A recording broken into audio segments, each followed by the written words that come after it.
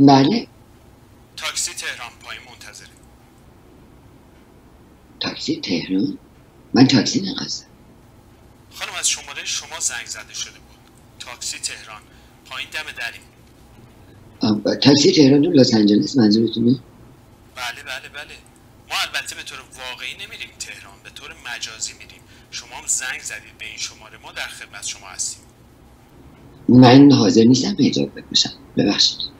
خانم یه عکس شما یه چیز دیگه میگه. یه عکسی اینجا من دارم می‌بینم تو واتساپ شما که با روسری و عینک و حجاب کامل اسلامی.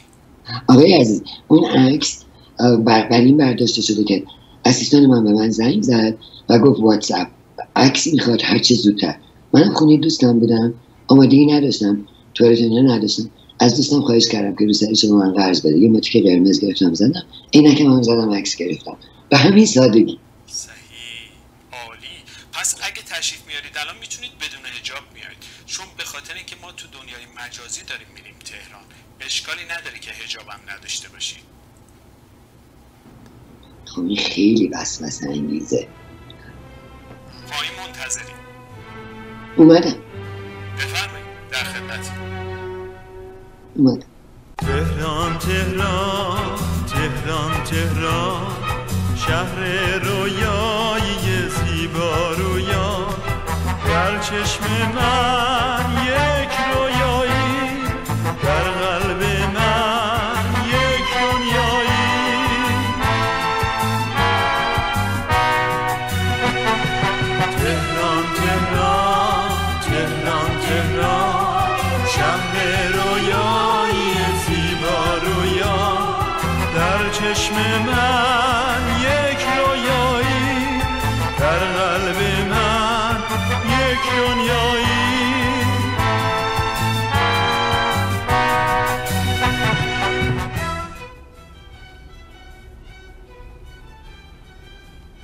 خانم شما شهره آقداشلو هستی؟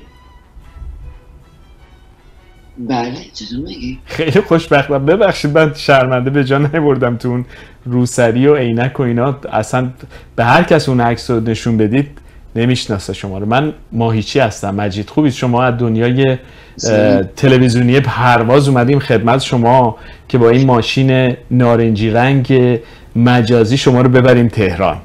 به خیلی زیباست. دستتون در نکنه. قربون شما در ضمن یه گفتگویی هم با هم دیگه بکنیم. خوبید شما؟ با کمال من خیلی خوبم. هیچ وقت انقدر خوب نبودم. بسیار بسیار عالی. چی شد حالا دفعه قبل اصلا جا موندید از گفتگو با برنامه تلویزیونی پرواز؟ آه داستان درازی داره. خودم و هوشنگ در پرواز بودیم. و پرواز تاخیر داشت. و متاسفانه دیر به منزل رسیدم. خیلی پس- بد. پس همه چی به پرواز ربط داره یه جوری. همه چی به پرواز رفت داره یه الان کجایی؟ ما الان داریم تو جاده داریم حرکت می‌کنیم. این درختان زیبا رو ببینید که چه جوریه. هنوز نرسیدیم. یه خورده تا تهران راه داریم. راه زیاد و جاده دراز. خانم آقداشلو عجله نکنید. نه خیلی قشنگه. وقتی میگم تهران یاد چی میافتی خانم آقداشلو تهران. یاد مادر بزرگم خونه مادر بزرگم. بازار من عاشق بازار تهرانم. می‌تونیم بکنیم بازارم می‌برم شما بله بله. بازارم میبرمتون بازار چه چیزایی؟ چلو کبابی نایب. به به. آه، آه، آخرین خونه ای که ترکش کردم. پلاک پلاک ده کوچه اردلان خیابان نیاوران. یادش بخیر. ببین همه سوال می‌کنن وقتی ایران رو ترک کردی چه چیزی رو اونجا جا گذاشتی؟ من برعکسش رو سوال می‌کنم. من سوال می‌کنم وقتی ایران رو ترک کردی چه چیزی با خود بردی؟ وقتی ایران رو ترک کردم چه چیزی با خودم.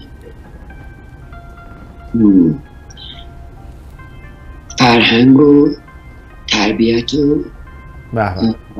هنر و شعر و موسیقی ایرانی رو با خودم برد. هنوزم بعد از 41 سال اه، توی چمدونمه. با منه. آوردمش. زنده باشی. من خودم هم مثل شما فکر می‌کنم. من فکر می‌کنم واقعا ما هیچ وقت ایران رو ترک نکردیم. ایران همیشه با ماست تو چمدون ماست همراه ماست. هر جا که ما میریم ایران هم با ماست. الان دیگه مثل قدیم نیست همه فکر کنن که خاکمون رو ترک کردیم. نه میلیون ها ایرانی ایران رو گذاشتن جیبشون اومدن بیرون. و الان تو دنیا همه ایران رو می‌شناسن همه فرهنگ ایران رو می‌شناسن. خود شما ببینید در کجا آمدید و به کجا رفتید و چجوری دارید به هر حال فرهنگ ایرانی و یک ایرانی موفق رو به همه نشون می‌دید؟ در هر صورت ما خوشحالیم. من خوشحالم که راننده مجازی این تاکسی نارنجی هستیم. یادتون هست این تاکسی نارنجی های تهران؟ خیلی خوب. خیلی خوب. خانم ببخشید من عذرخواهی می‌کنم از شما خانم آقا داشتو در رو خیلی محکم بستی وقتی اومدی. از اه، ماشین نوع ترتمیز معذرت می‌خوام. ببخشید می‌دونم. ولی اینقدر هیجان زده بودم که نمی‌تونستم جلوی خودم بگیرم خواهش می‌کنم. چنین سفری اصلا ممکنه. فقط مواظب باشین این نوشابتون نریزه لطفا. نه حواسم حواسم جمعه درش بسته است. خیالتون راحت باشه. خواهش اصلا فوق‌العاده است. اصلا فوق‌العاده است. گیت شدم. نمی‌دونم چی باید بگم به شما واو. عالیه. این هوا و این منظره رو لذت ببرید تا بریم تو خیابونهای شلوغ تهران. اون موقعی که به دنیا آمدی توی خیابون و کوچه پس کوچه یه خلوت تهران بوده. زمانی که کوچیک بودید توی نیاوران فرمودید به دنیا آمدی؟ نه نیاوران خونه بود که ترکش کردم.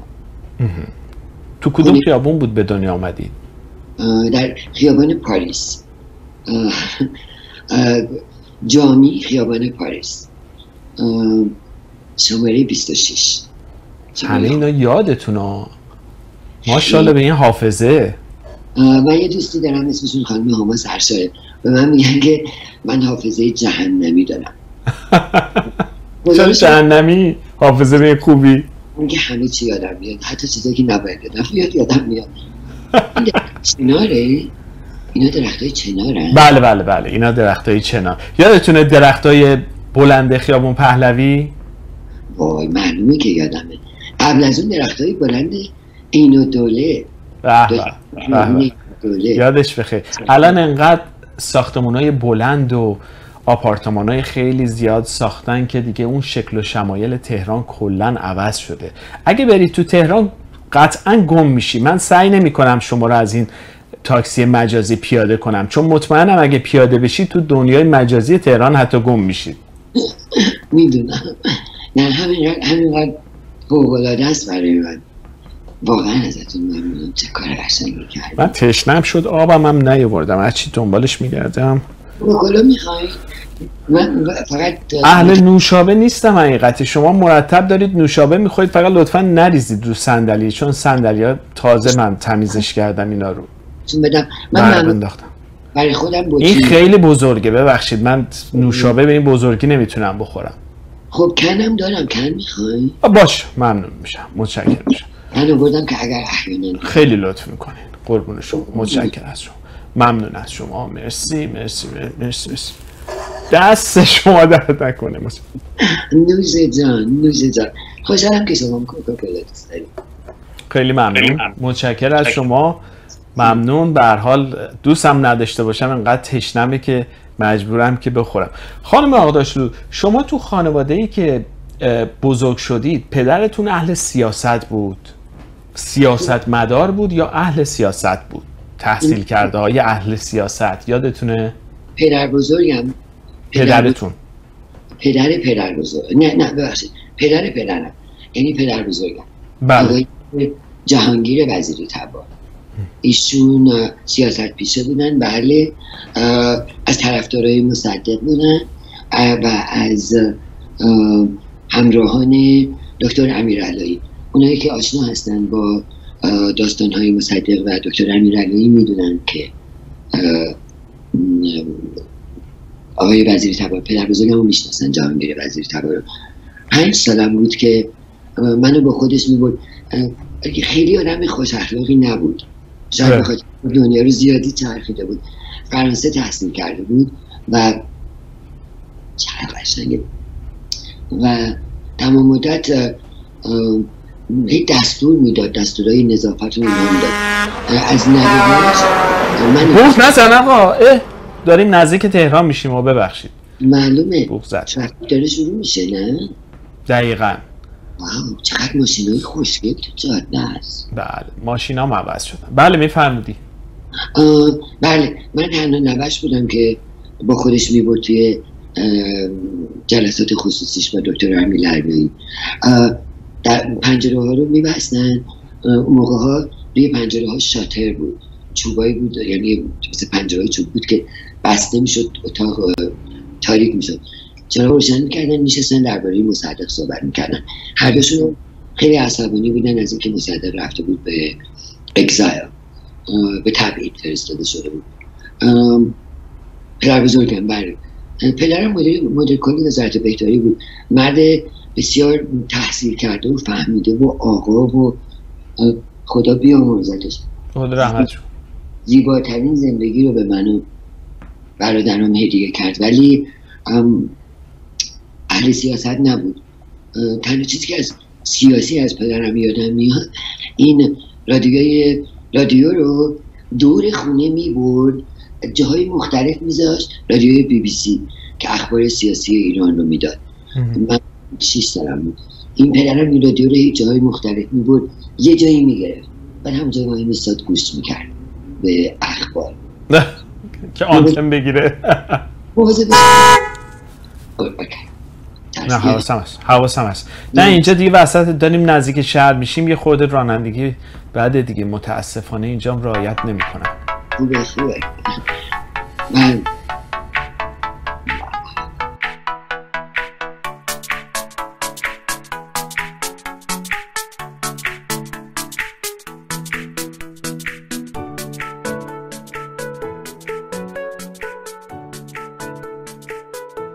زندگی دیگه کاش نمیشه. زندگی واقعا زندگی. خب برای همین شد که رفتی سیاست خوندید؟ نه انقلاب ایران باعث شد. آه. آخرین روزهای اختشاش روزهای پیش از انقلاب. یک می‌تونید منو ببرین میدون بهارستان؟ میدون بهارستان؟ چشم به روی چشم الان. میبرمتون میدون بهارستان. سه بله. اینم از بهارستان شلوغ. جای... می‌خوای یه خود اینجا وامیستم. آره من خودم هم چون نوشابه خونکم خوردیم دست شما درد نکنه. این چی شد؟ چه حالت عجیب غریبی بهتون دست داد؟ خانم اتفاق افتاده؟ نه نه نه نه دارم. آخه شما نمی‌دونین این میدون چه جایی در زندگی من داره. من یه کمی بالاتر اون دست راست. بالاتر کودکستان و برسابه می‌رفتم. مادرم صبح می بردم کودکستان. از اونجا از اون کوچه بالایی که می‌بینید از بغل اون کوچه بالایی. آها اولین کوچه دست راست. آره دارم می‌بینم. کودکستان برسابه بود اسمش. بتسابه؟ برسابه برسابه. پاکستان برسابه. ما صبح منو میذاش اونجا زور برم میداشت. می‌برد یه کمی پایین تر اونجا بعد از میدون رد شیم بریم بیرون. دست چپ. قنادی نوبخت. آه. ما یه دونه نون خامه ای می‌خرید و من که این نون خامه ای رو میخوردم یواش یواش با هم دیگه قدم می‌زدیم. و یک عروسک فروشی بزرگ اونجا بود. هر روز جلوی عروسک فروشی وای میستادم و از مادرم که بچه معدبی بودم از مادرم سوال می‌کردم که من می‌تونم اون عروسک بزرگ رو داشته باشم؟ می‌تونید اونو برای من بخرید؟ مادرم هم خیلی خیلی زن ماهی بود. خیلی واقعا یک روح معنوی عجب غریبی داشت و بسیار خانم فهمیده بود. آه، مادرم هم برای اینکه خب گرون بودن عروسک نمی‌تونست برام بخره مادرم بهم می‌گفت اون یکی برای فروش نیست. گولتون می‌زد. اون یکی برای فروش نیست. اونو گذاشتن که مردم برن بقیه عروسک رو بخرن. آخه. رفتی تو دنیای کودکی ها تو بهارستان. آه. آه، وقتی که سیزده چهارده سالم شد. اون پایین می‌بینین اون مجسمه ها رو می‌بینین بله بله. شبایی که جشن بود شبای جشن ایاد ایاد ملی. از دهن این مجسمه ها آبای رنگی میومد آره آره آره. موسیقی پخش می‌کردن یادش بخیر. اون موقعی بود که خیلی با مادر بزرگم میچرخیدم. من بچه مادر بزرگم بیشتر.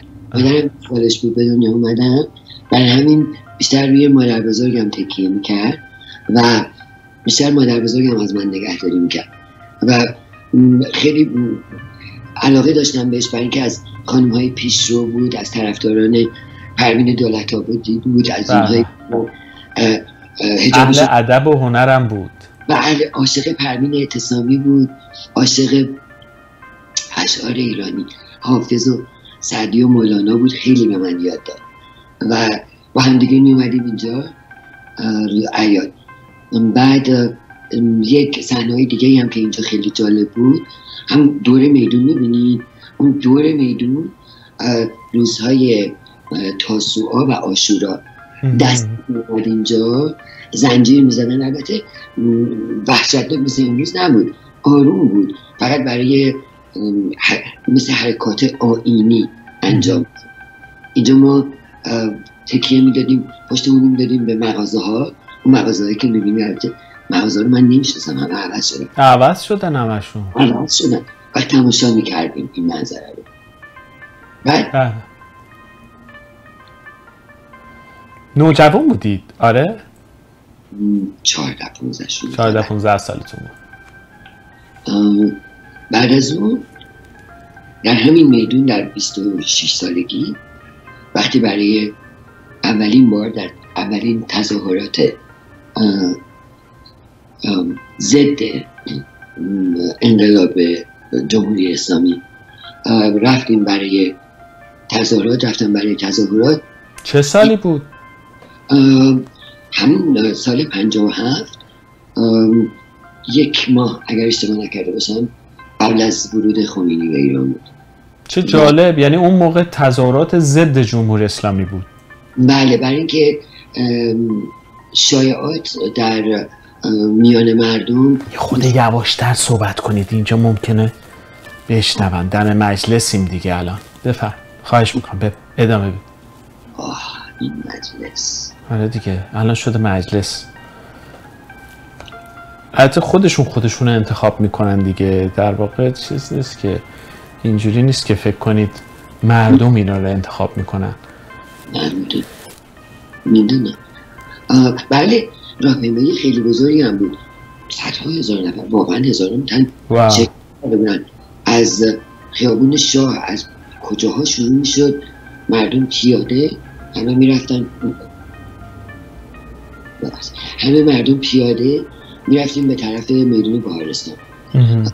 من نمی‌دونم از کجا یه مشت آدم آورده بودن که من تو عمرم تو این مملکت ندیده بودمشون نمی‌دونم. خیلی خیلی زشت بودن خیلی حرفای زشتی می‌زدن می اومدن مخالفت می‌کردن با تظاهر کننده ها؟ توی پیاده رو ایستاده بودن و فوش می‌دادن. پلیس بین تظاهر کنندگان و پیاده رو درست؟ پیاده رو بغل خیابون با ماسک و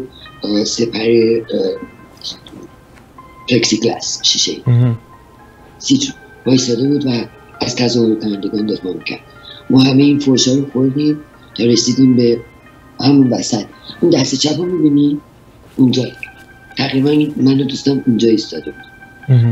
بختیار یک تانک اگر اشتباه نکنم یه تانک بود دست راست منتها علیه دست راست دکتر بختیار رفت بالا و شروع کرد به خوندن شعری که میگه آن سفر کرده که صد قافل دل همراه اوست. دیگه نذاشتن نیم بیت دوم رو تموم کنه. این آدمایی که اوورده بودن صبح شروع کردن ما رو سنگساز کردن. آجر بود پاره آجر و سنگ بود که توی آسمون. من چرخیدم دیدم چشمم خیس شد. اومد توی دهنم تلخ بود خودم فهمیدم خونه. بابا. از توی میدون بهارستان خدا رو شد اونجاها رو بلد بودم. مادر بزرگم پشت پشت مجلس رو می‌بینین پشت مجلس مسجد سپه سالاره این یکی از زیباترین مسجدهای ایرانه. مادر خونش درست روبروی مسجد سپه سالاره بود. برای همین من این کوچه پس کوچه ها رو خوب بلدم. هنوزم با وجود اینکه رنگ جغرافیاییشون در مغزم رفته ولی به حسم که برمیگردم اگه بزنین اونجا من می‌تونم راه پیدا بکنم. بسیار عالی. از تو میدون بهارستان رفتیم توی کوچه پس کوچه های جاله به جاله که رسیدیم دیدیم بیمارستان ها آمبولانس گذاشتن توی خیابون ها همجور آمبولانس چیدن توی خیابون ها برای مثلا هر چند کیلومتر. برای کسایی مثل من. و اونجا سرم دوازده تا بخیه خود خیلی جالب. 15 سال نه 20 سال زده بودن. زده بودن بعد تو زده. آمدم خونه. با خودم فکر کردم که نه اینجوری نمیشه کاری کرد. اینجوری نمی‌تونم به, به ملتم کمک کنم. اینجوری نمی‌تونم هیچ قدمی بردارم. به عنوان یه زن جوون هنر پیشه همونجا دو سه تا خبرنگار اومدن گفتن شما اینجا چیکار می‌کنیم خیلی عجیب. گفتم که اگر قرار کسی برای ما قدمی برداره دکتر شاپور بختیاره. نه ملاهایی که میگن دارن میان. آمدم خونه و چمدونم بستم و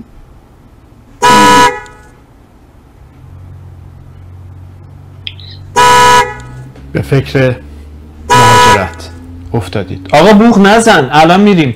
ببخشید دارم بوغ می‌زنم. بذار ما از اینجا حرکت کنیم بریم جلو. الان میریم. الان میریم. الان میریم.